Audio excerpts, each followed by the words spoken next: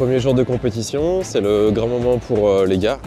On arrive bientôt sur le, le spot, on est à quelques mètres de, de Thomas, donc on va aller le voir et on va lui poser euh, quelques questions avant la compétition. Salut Thomas, T'es Clément, ça va bien la forme? Ouais, nickel. Bon alors, comment tu te sens aujourd'hui? Ça va bien, ça va bien. De bonnes C'est- conditions, un peu comme hier pour le pré-fishing, donc euh, ça devrait bien se passer, je pense. C'est quoi ton plan d'action aujourd'hui pour ce premier jour? Bah, déjà là, je pense que la, la bâche, je vais pouvoir la traverser euh, d'ici euh, le début de la concours, enfin d'ici de- le début de la compétition. Ok, la bâche c'est cette grande cuvette Exactement, ouais, la bâche, c'est là où il reste encore un peu d'eau, Ouais. pas beaucoup pour le moment. Et après, donc, aller sur le banc de sable qui est découvert et lancer euh, dans la mousse euh, derrière. Ok, tu Ouais. penses cibler quelle espèce là ce matin? Ça va être euh, flé dans les trous Ouais. et le bar dans la mousse. Bon, on le dérange pas plus longtemps. Y a pas de Merde, problème. On a quelques minutes. Merci, Bon courage merci.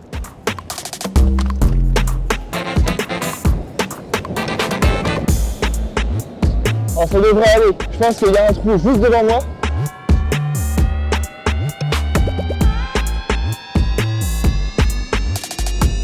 Premier poisson pour euh, Thomas, un flet. Le commissaire va aller le mesurer. Ça commence bien dès le premier lancer, après quelques minutes.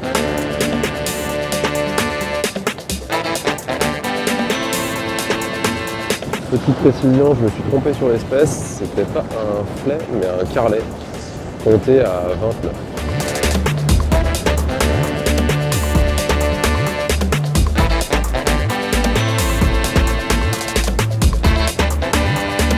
Comptabilise pareil ou pas Ouais, c'est la même chose.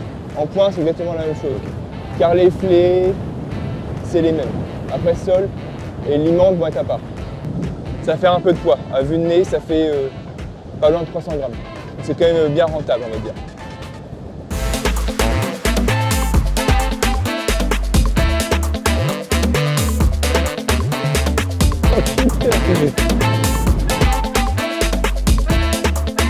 saut du commissaire, il vient de s'envoler. On va aller le ramasser. Et qui sait, on va peut-être gagner des points en ramassant un saut. hein. Avec plaisir.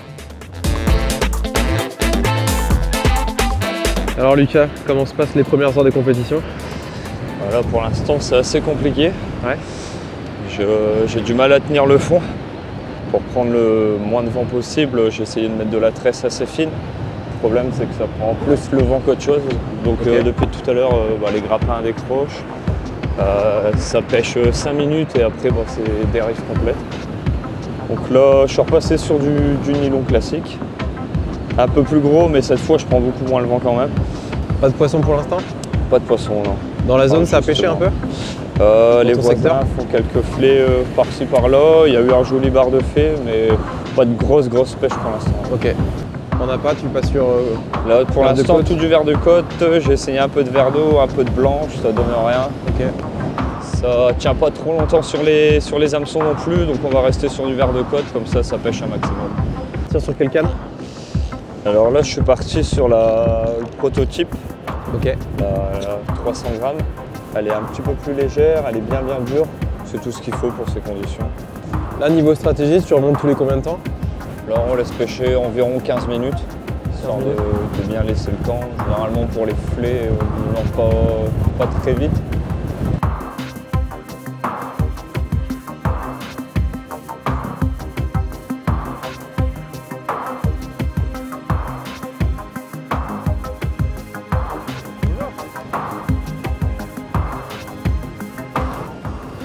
Va mon Fredo va et toi? Alors? Comment ça se passe C'est très moyen. Très moyen Ouais, ouais. C'est un peu compliqué là, on a beaucoup d'algues. Le vent euh, s'est jamais calmé. Euh, donc euh, c'est un peu dur. J'ai réussi à décapoter faire- Ouais, j'ai décapoté, j'ai fait un flé de 30. Mais euh, ça va pas suffire. Ok. Et autour de toi, dans ton secteur, ça donne quoi Ouais, Il y a quelques flés qui se, qui se baladent un peu. Donc euh, je pense qu'il faut pas lâcher là jusqu'à la fin. Surtout que la mer remonte. Et euh, il y a eu euh, quelques jolis poissons, un bar et un mulet là qui étaient euh, juste magnifiques. Bar de 52 et mulet de 60 là qui est, qui est sorti pas loin de moi. C'est quoi ta stratégie là? Bah là la stratégie c'est au moins de, de tenir à 20-30 mètres parce qu'au-dessus 30 mètres il y a des algues. Donc euh, mettre des grappins, des badines plutôt courts, des gros appâts pour, pour que ça aille au fond et, euh, et prier qu'il y ait un petit filet qui se balade quoi. Tu pêches avec quelle canne Euh, bah, je pêche avec euh, la prochaine euh, 900, la 4m40, hein, la longue distance. Et euh, je suis avec le Symbiose euh, 510 000 là, en 22 centièmes et en grappin ça tire bien. Donc, euh, on a des cannes qui euh, font largement le travail pour ces conditions-là. Donc ça c'est plutôt euh, rassurant sur ce qu'on voulait essayer euh, aussi. euh, on venait aussi pour ça, pour tester un peu de matériel et là on est plutôt confiant sur, euh, sur ce qu'il peut y avoir. Tu vois, je te l'avais dit qu'on allait te porter chance, mon Fredo. On arrive, un flait. Au moins, on n'est pas chat noir.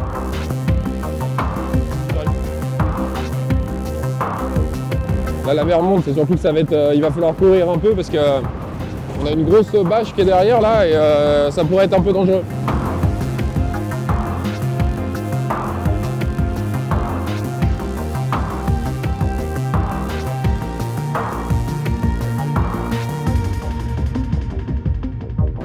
Fin de cette première manche, des conditions vraiment très très compliquées, énormément de vent, plus de 65 km/h euh, de vent, c'était vraiment très très dur. On a pu aller voir donc euh, trois compétiteurs euh, sur 5.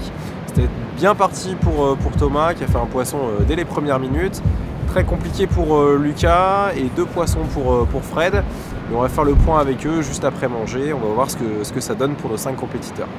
Bon les gars, fin de cette première manche. Qu'est-ce que ça donnait? Bah, du poisson et malgré tout des conditions difficiles et sportives. On l'a vu. Beaucoup de vent, des algues malheureusement qui sont venues un peu perturber euh, la pêche et qui ont rendu la pêche physique. Mais malgré tout du poisson, euh, du flé essentiellement, des flés de 30-35 cm, quelques, pas mal de jolis bars aussi. Euh, entre 40 et 50 et même à noter des beaux spécimens tels qu'un bar de 58 fait par un collègue à nous d'ailleurs. Christophe. Christophe, ouais. Et euh, des très gros mulets aussi. Des très gros mulets jusqu'à 60, 63 cm pour le plus gros poisson. Ça c'est de la de première la journée Ouais, c'est ouais, gros poisson le de la poisson, journée. ça va être Mulet de 63. Donc là tout de suite ça pèse. On s'en sort pas trop mal au global, nous au niveau des ambassadeurs. Niveau des classements, on Ouais. est... où est la team? Bah, on a un gros tir groupé sur le 8ème de secteur. Donc euh, il y a Jo, euh, Thomas et euh, Florian qui font euh, aussi 8ème de secteur. Et moi aussi, donc je suis 8ème de secteur. Et donc euh, on est tous entre la euh, 86e place et la 90e place. Donc au global, on est dans le premier tir, à part Lucas qui malheureusement a fait capot euh, sur cette première manche. Donc là, il y a encore euh, moyen de remonter euh, sur la deuxième manche et la troisième manche. Donc on a encore pas mal d'espoir pour pouvoir euh, aller chercher des trucs sympas. Ok, objectif de demain? Bah, déjà se préparer ce soir. Ouais. Finir la préparation. Finir la là, on est occupé, Ouais, on finit Je vois qu'il y a de la petite paillette là, Ouais. ça va être tout joli. On refait les montages qui ont pêché aujourd'hui pour demain, bien entendu.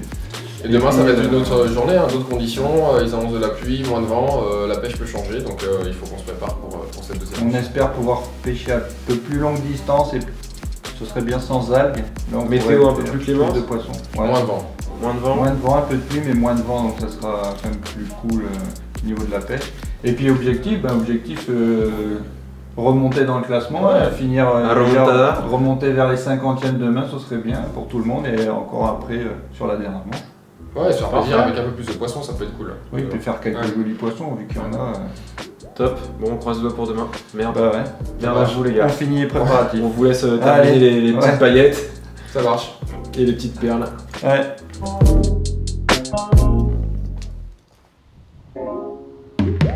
Deuxième jour de compétition, comme vous pouvez le voir, la météo a complètement changé, le vent s'est stoppé. Maintenant, on devrait prendre une grosse drache dans quelques minutes, comme on dit dans le, dans le Nord. Donc, beaucoup de pluie annoncée pour aujourd'hui et pour demain. Juste derrière nous, il y a Florian, on va aller le voir et on va voir comment ça se passe. Salut Flo Ça va? Ça roule? Ouais, nickel, forme ouais, ouais, ça va. Oui, il faut être en forme, ouais. Et pour aujourd'hui, c'est quoi ton plan de bataille? Trouver le poisson, Ouais. forcément. Euh, bah, D'autant plus que les conditions de, de pêche ont changé. Euh, a priori, on va partir sur le même style de pêche, c'est-à-dire euh, pas beaucoup de poissons, donc il va pas falloir euh, rater les passages. Et puis voilà, on espère. hein. Ok, tu vas pêcher dans les bâches, tu vas chercher un peu de profondeur Là, vas- pour l'instant, tant que la marée descend, j'essaye de, de trouver un peu de la distance. Euh, à l'étal, je vais chercher d'abord loin, ensuite je vais ramener plus près du bord et à la montante, je, je pêche vraiment aller dans les 100 premiers mètres, vraiment maximum euh, pour gratter. Quoi. Après, ça dépendra de ce que je fais là pendant encore euh, une heure ou deux. Mais ouais, c'est compliqué, il faut s'adapter tout le temps. Tout le temps.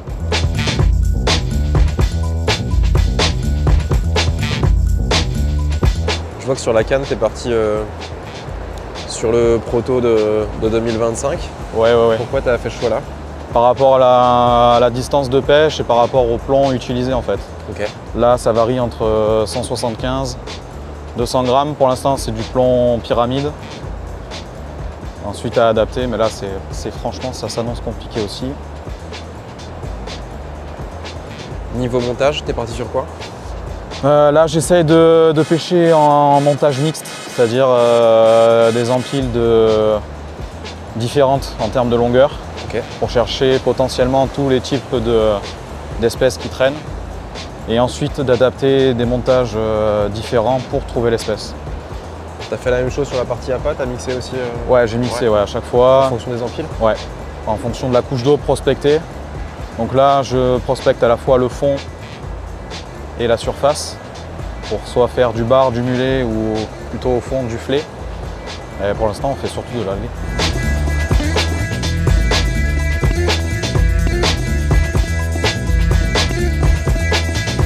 Bon Flo, nous on va te laisser. Ouais, ça va. On va aller voir les, les autres pour voir ce que ça donne.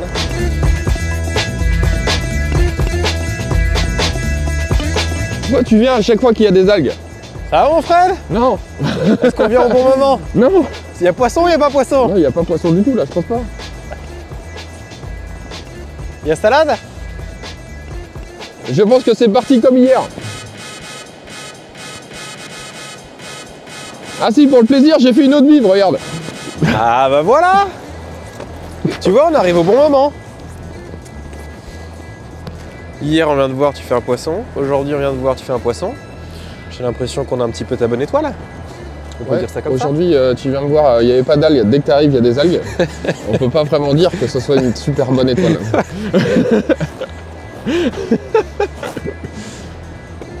T'es parti sur quelle canne aujourd'hui? Je suis parti euh, sur la longue distance comme, comme hier. Bah là, j'ai lancé loin quasiment depuis le début du concours. Là, je vais raccourcir un peu la distance s'il y a trop d'algues. Mais ça peut s'annoncer compliqué encore pour le reste à cause des algues.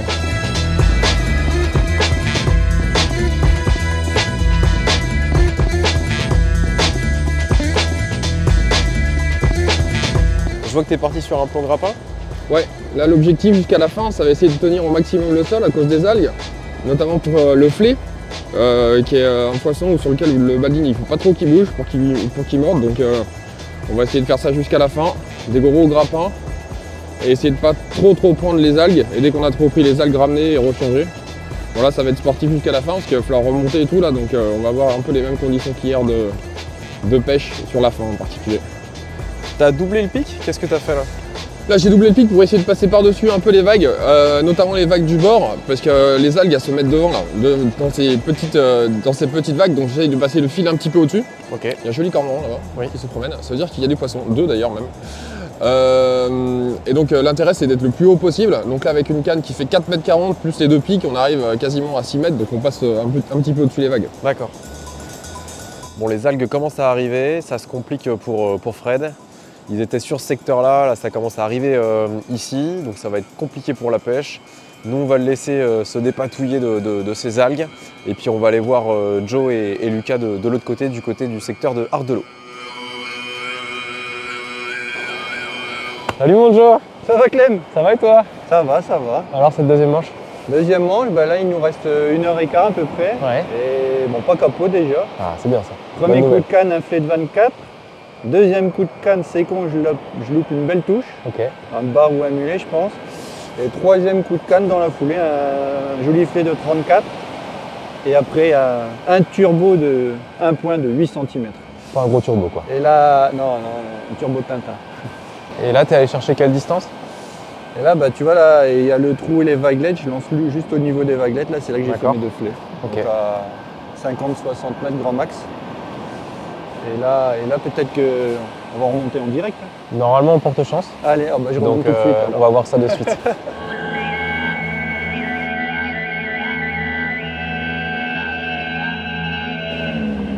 non? En tout cas, il n'y a pas un gros poisson.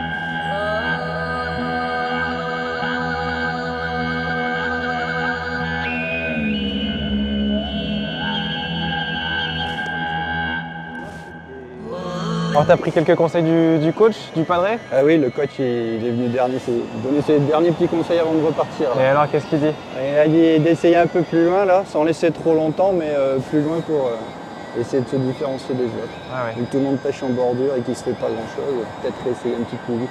Et alors Un peu plus loin. Tu vas écouter le coach Ah mais le coach il, il a toujours raison le coach. Hein. Eh oui. L'expérience. Eh oui.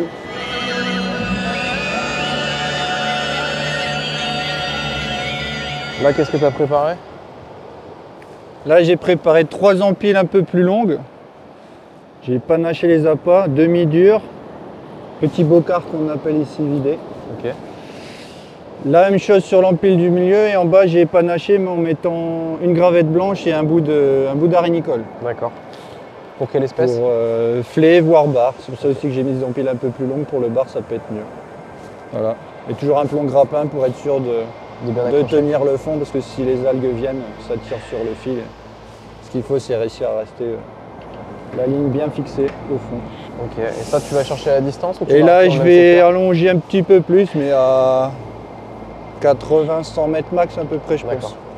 Ça sera à peu près l'équivalent, tu vois, où il y a les vagues là-bas, Ouais. sur le plateau. Donc, euh, il va y avoir les flets qui passent sur le plateau ou les barres qui viennent jouer dans les vagues. Voire un très gros mulet. Ça serait bon, ça. J'espère, j'espère pour toi. Ouais.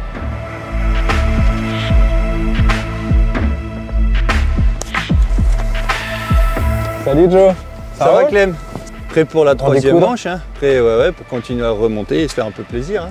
J'ai vu que là c'était un peu plus mouvementé. Ouais, tu vois, par rapport à hier, là, la mer, euh, la mer, elle bouge plus, là, et puis le vent, il s'est orienté plus de face, là. Ouais. Donc, euh, C'est bon signe? Pour le je poisson ça te un peu dire, plus, normalement, ouais, je pense que tu vois, le premier jour, ça bougeait plus, il y avait hier, plus de barres. Avant-hier, ouais. Donc, Et hier euh, beaucoup plus calme. et ça a été plus calme, ouais. Le poisson a été pris tout de suite au début, hier. Donc là, ça risque d'être pareil, mais j'espère qu'on aura un peu plus sur les 4 heures. Et plus de barres, je pense, à mon avis, avec la mer qui bouge. là. Et après, espérons qu'il n'y ait pas trop de saleté euh, pour nous embêter. Bon, je vais mettre ma veste de pluie, hein, d'ailleurs. je te laisse.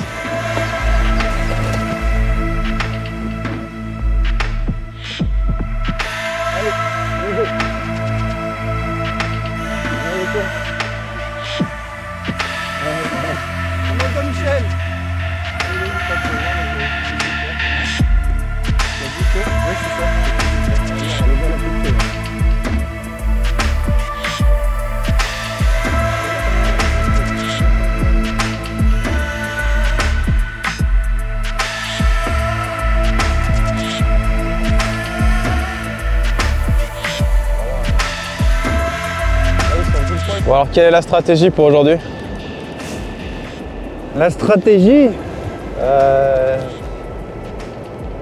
faudra surtout attraper du poisson pendant la première heure et demie, je pense. Ok. Parce que les, les deux premiers jours, ça a tout de suite bien pêché. Là, vu la config de la plage, je pense qu'au début, dans les, tu vois, les 70 mètres, là, il pourrait y avoir du poisson. Et après, quand ça va descendre, euh, il y a l'air d'avoir plus de l'eau où tu as les vagues là-bas au loin. Donc quand Ouais. on va être avancé, là, je, je pense qu'il y a peut-être quelques jolis poissons à aller faire au loin, là, par contre. Après, niveau appât, l'appât qui marche le le mieux, là, c'est le la rénicole. hein. Le vert noir et brodé, là. Ouais. C'est celui euh, qui, a- qui pêche très bien. là. Puis ça tient bien à l'hameçon, donc avec des conditions comme ça, au moins tu es sûr d'avoir quelque chose au bout de ton hameçon qui tienne.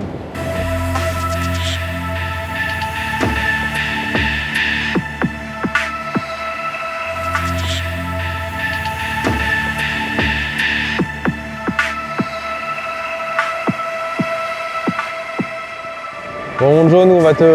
on va devoir te laisser. Ouais, je vais finir de le préparer. 8 heures de route pour retourner du Ah côté oui. euh, de De Cestas. Cestas, de Ouais. Capernaum.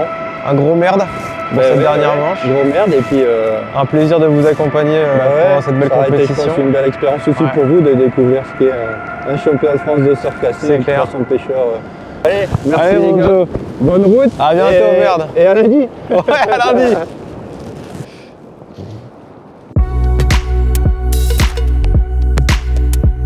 De retour à, Cestas, on a eu euh, l'équipe euh, au téléphone, donc une troisième manche beaucoup plus euh, productive pour l'ensemble des euh, cinq compétiteurs, avec notamment une très belle pêche pour Jonathan qui fait 5 flets et un beau bar de 48. Malheureusement, ça n'a pas suffi pour aller sur les trois marches du podium. Voici les résultats de la compétition, on espère que cette vidéo vous a plu. Un grand grand merci au Club de la Varenne pour cette très belle organisation. N'hésitez pas à vous abonner et à bientôt.